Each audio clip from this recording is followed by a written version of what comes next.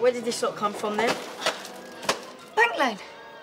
My autograph in exchange for a wad of cash. Yeah? Not bad for a morning's work, eh?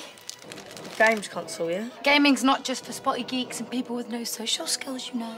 Have you got any games with it or what? Uh-huh. In the other bag.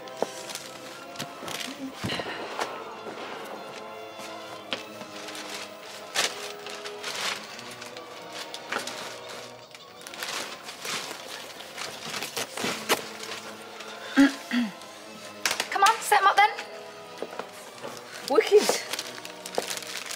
Wicked. Rich was born yesterday.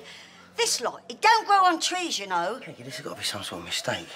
The credit company gave me a list of transactions I phoned the online shop that took for a 32-inch television set. Take a guess at the delivery address. Well, don't look at me because I've only just got back myself. What? Leopard and spots, my young lady, yeah.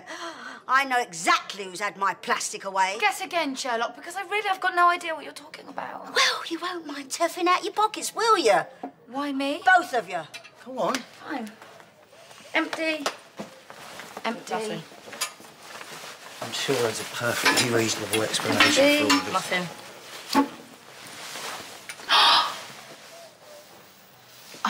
Listen, right, I swear I do not know how that got there. After I s- everything that I've done for you. She set me up, she must have done. It- like I'd go and buy a games console and that thing. Peggy, I'm really sorry. Give me one good reason why I shouldn't call the police. Because we're Mitchells, we never call the old building. There's always a first time.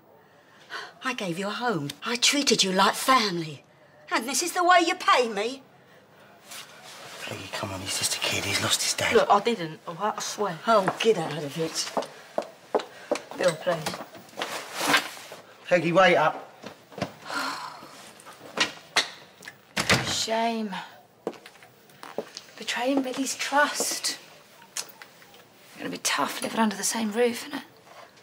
Ain't you? Congratulations. You're not quite as stupid as you look.